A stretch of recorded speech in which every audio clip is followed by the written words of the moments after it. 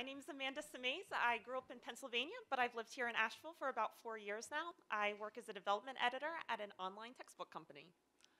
So, how do you stay in touch with faraway friends? Bridget, Ashley, and Kelsey are three friends I met through a one year volunteer program we did together in 2010. And we found one strategy to be in daily communication with, with each other for at least a chunk of each year. We have annual contests. Here's how it works Bridget and I compete over something, and Ashley and Kelsey are the judges. We set some type of daily challenge, and every day we need to send photographic evidence to both our opponent and the judges to prove we completed it. And we just keep going until someone caves in and quits, forgets, or breaks the rules. The prize is always one beer. So basically, it's just a quirky way of four friends staying in touch. Like the Sisterhood of the Traveling Pants, except instead of mailing each other pants, we viciously compete with each other in the hopes of winning a very small quantity of alcohol. First, we started with hair contests. Pretty simple. Every day, each of us has to do our hair in a different hairstyle until one of us runs out of hairstyles that we're willing to be seen in public with.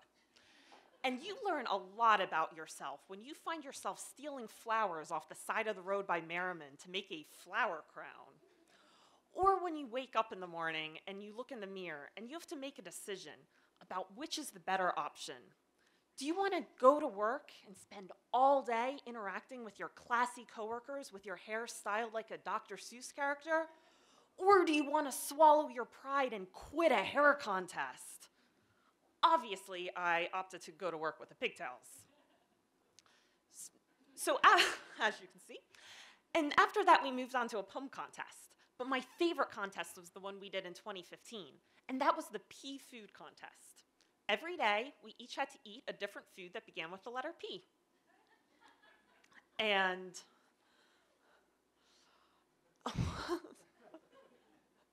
so we and and um, we set strict rules and no brand names, and once a food's been used, it's off the table.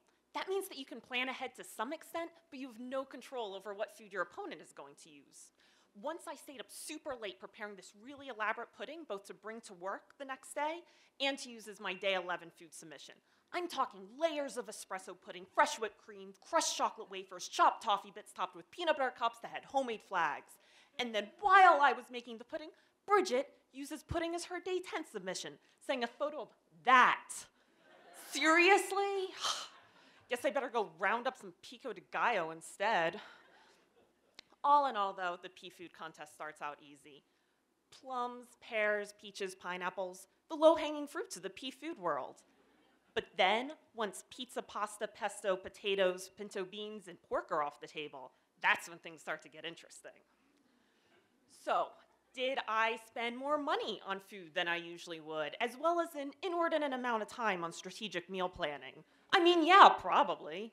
But did I eat fantastically well and nearly every day embark on an exciting new food adventure? Absolutely. As my competitive instincts kicked in, I went to increasingly great lengths to ensure a continuous supply of pea foods in my pantry. I scoured the internet for ideas and combed through every aisle of every grocery store, farmer's market, and butcher shop I could find. I learned how to make psarosoupa, which is Greek fish soup, piernik, which is Polish gingerbread, and pupusas, which are Salvadorian stuffed tortillas. I spotted a pepino melon in the exotic fruit section of a grocery store.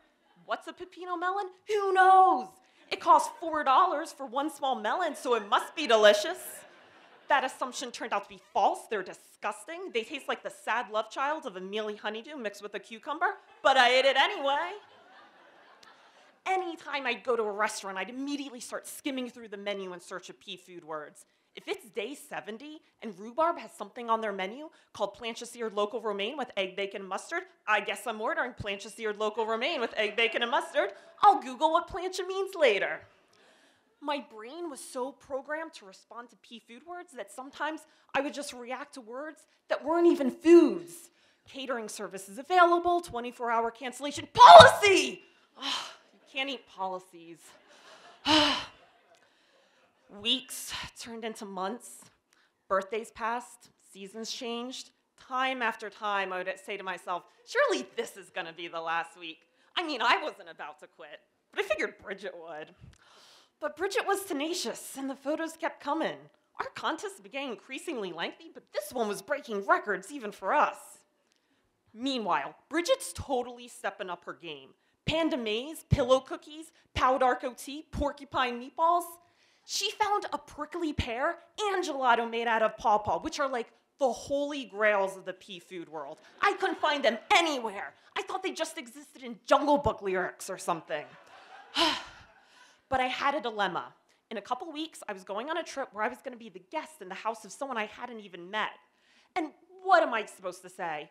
Oh, I'm totally not picky about what we eat for dinner, as long as it's either piccalilli, piri piri, or a seven layer Bavarian cake called Prinzregententorte. torta.